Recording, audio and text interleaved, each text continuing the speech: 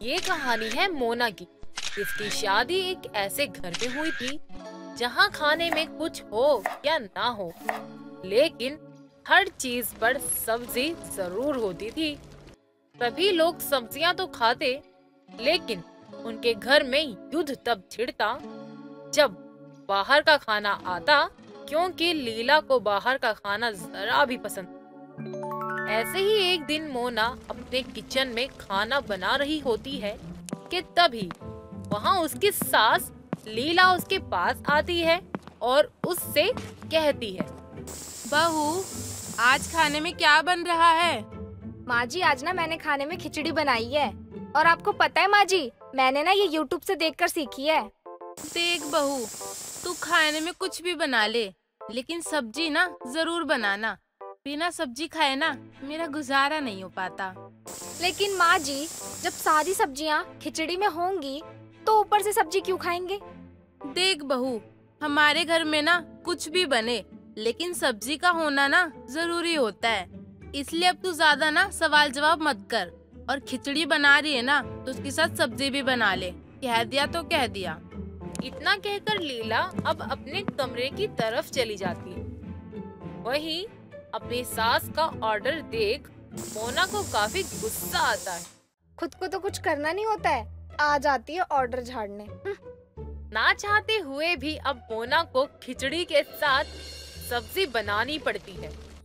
कुछ देर बाद अब सभी खाना खाने बैठ जाते हैं। भाभी लगता है आज आपने खाना मन से नहीं बनाया। खाने में टेस्टी नहीं है। अरे देवर जी अगर आप खिचड़ी पर सब्ज़ी का स्वाद लेकर खाएँगे तो आपको स्वाद कैसे आएगा? अरे मैंने खिचड़ी बनाई थी। वो भी यूँ ही बिना सब्ज़ी के खाई जाती है। सब्ज़ी के साथ कोई नहीं खाता। मोना तुम राहुल से ऐसे कैसे बात कर रही हो?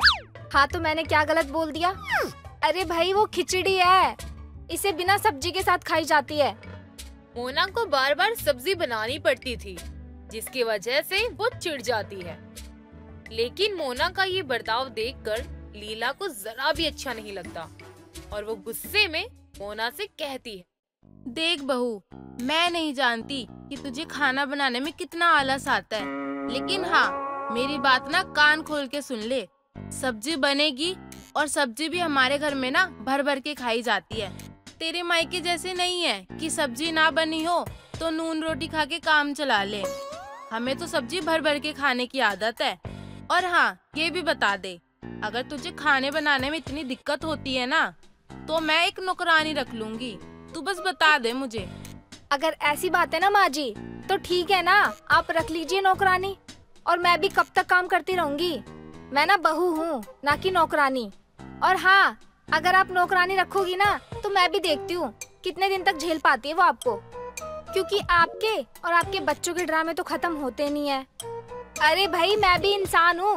जानवर नहीं हूँ जो काम करती रहूँ। पूरा दिन तो आप लोग ऑर्डर देते रहते हो मुझे। मोना अब गुस्से में खाने की टेबल से उठकर अपने कमरे की ओर चली जाती। देख रहा है अपनी पत्नी को। अरे इसके तेवर। इसकी हरकतें देख के ना कोई भी इससे सीधे मुँह बात करना पसंद तक नहीं करेगा। अरे पता नहीं कौन से बुरे समय में ना मैंने तेरी उस लड़ाकू विमान से शादी करवा दी। अरे एक नंबर की लड़ाकू है वो। माँ अब मैं किसको क्या कहूँ? ना तो वो कम है और ना ही आप। एक को शांत करने जाता हूँ तो दूसरी भड़क जाती है। दूसरी को शांत करता हूँ तो पहली भड़क जाती है। अगर आप में से कोई एक गुस्सा कर रहा है तो दूसरे को शांत हो जाना चाहिए। लेकिन नहीं, आपको तो लड़ना है ना? तो लड़ो, अशांत करो घर को। हे भगवान, अभी तो शादी को ज़्यादा समय भी नहीं हुआ।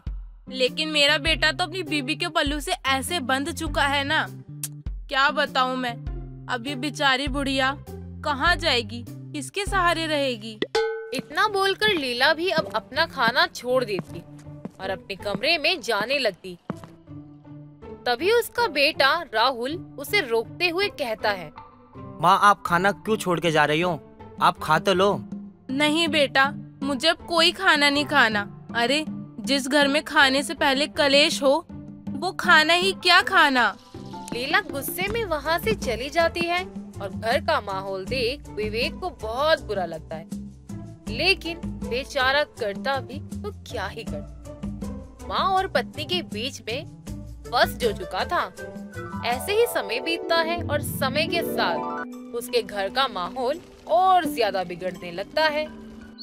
एक दिन की बात, लीला अपने कमरे में बैठकर राधे राधे जप रही होती है। तभी वो देखती है कि विवेक आज बाहर से खाना लेकर आया है। बाहर का खाना देखकर लीला भड़क जाती। विवेक मुझे तो समझ नहीं आता। तुम लोग मेरी बातों का मान क्यों नहीं रखते हो? अरे क्या इस घर में मेरी थोड़ी सी भी वैल्यू नहीं है क्या? लेकिन माँ ऐसा क्या हो गया? आप भड़क क्यों रही हो? वाह बेटा वाह। गलती करके तो पूछ रहा है कि क्या गलती कर दी? अरे जब तुझे पता है कि हमारे घर में सब्ज़ी भर भर के खाते हैं तो क्या ज़रूरत पड़ गई बाहर से खाना लाने की? तुझे पता है ना बाहर के खाने में लहसुन प्याज होता है और हम तो लहसुन प्याज डालते ही नहीं है। माँ ये बिना लहसुन प्याज वाला खाना है। और खा लोगे बाहर का खाना एक दिन तो क्या हो जाएगा?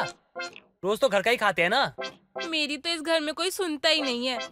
कभी कभी तो मुझे ऐसा लगता है कि इस घर में ना मेरी कोई वैल्यू नहीं है। अरे मैं इस घर के गार्जियन हूँ ही नहीं बल्कि मुझे तो ऐसा लगता है कि मैं तुम लोगों के ऊपर ना बोझ बन के रह रही हूँ। माँ कैसी बात कर रही हो आप? एक माँ बच्चों पे बोझ कैसे बन सकती है? बेटा यही सच है। तभी तो तू और तेरी पत्नी मेरे साथ ऐसा कर रहे हैं। अरे तुम्हें पता है ना हमारे घर में ज़्यादा सब्ज़ी खाई जाती है। लेकिन नहीं तुम लोग तो अपनी चला रहे हो इस घर में और सब्ज़ी बंद करवा दी। और ये पता नहीं क्या ऊट पटांग सी चीज़ें ला रहे हो। माँ ये कोई ऐसी वैसी सब्ज़ी नहीं है। आपको पनीर की सब्ज़ी पसंद है ना? ये वही है। लीला फिर से घर में आए हुए खाने पर ड्रामा करती है। ये देख विवेक को बहुत गुस्सा आता है और वो वहाँ से सारे खाने को उठाकर डस्टबिन में डाल देता है। और जब इस बारे में मोना को पता लगता है तो मोना गुस्से में अपनी सास पर भड़क जाती है। माँ जी आपने खुद को समझ क्या रखा है? हाँ माना कि मेरे ससुराल वाले सब्ज़ियाँ खाते हैं। लेकिन इसका मतलब ये नहीं है कि आप बाहर का खाना डस्टबिन में फेंको। देख बहू मैंने तो किसी को नहीं बोला कि खाने को डस्टबिन में फेंक दो। अब उसकी मर्ज़ी है उसने फेंक दिया तो मैं क्या ही करूँ? वाह माँ जी आप इतनी चलाकी से ऐसे शब्दों का इस्तेमाल करती है ना कि सामने वाले का खून ही जल जाए। आपने बिना बात के ना कलेश कर दिया जिसके कारण विवेक ने खाना डस्टबिन में फेंक दिया। माँ जी अगर आपको पनीर से इतनी ही दिक्कत थी तो आप बोल देती कि आपको सब्ज़ी खानी है। मैं बना देती सब्ज़ी। हम्म, फालतू में आपने कलेस करवा दिया घर में। बहू बस कर। बहुत बोल लिया तूने और मैंने भी बहुत सुन लिया। अरे तुम लोगों को मैं बोझ नज़र आ रही हूँ ना जो तुम मुझे दो वक्त का खाना नहीं दे पा रहे हो। अरे कितना खा लेती हूँ मैं? दो चार किलो ही तो खा पाती हूँ। तुमसे वो भी नहीं दिया जा रहा मुझे। तभी तो तुम मुझे बाहर का खाना खिलाते हो। अरे वो तंदूरी पंदूरी जैसी जो रोटियाँ होती है, उन्हें चबा चबा के ना, किसी दिन मेरा दांत टूट जाएगा। और वही खाना खा खा के ना, मेरी हड्डियाँ कमज़ोर हो जाएँगी, जिससे मुझे खून की कमी हो जाएगी। खून की कमी होगी तो मैं कमज़ोर होने लगूँगी, और तरह तरह की बीमारियाँ हो जाएगी मुझे। कभी बीपी बढ़ जाएगा तो कभी बीपी लो हो जाएगा। अरे, कभी शुगर बढ़ेगा तो कभी शुगर कम हो जाएगा। अरे, इसी तरह से अप डाउन करते करते ना मैं किसी दिन ऊपर ही पहुँच जाऊँगी। और उसके बाद ना तुम अपनी कुत्तों वाली रोटियाँ ना खाते रहना चबा चबा के अरे अब मेरी परवाह किसको ही रह गई है? सब पे मैं बोझ बन चुकी हूँ बुढ़िया जो हो चुकी हूँ मैं। अब कोई नहीं सोचता मेरे बारे में। लीला और मोना के बीच में बहस हो रही थी कि ये बहस देखते हुए विवेक गुस्से से भड़क जाता है। अरे बस करो आप दोनों यार बस करो। बहुत बोला आप लोगों ने।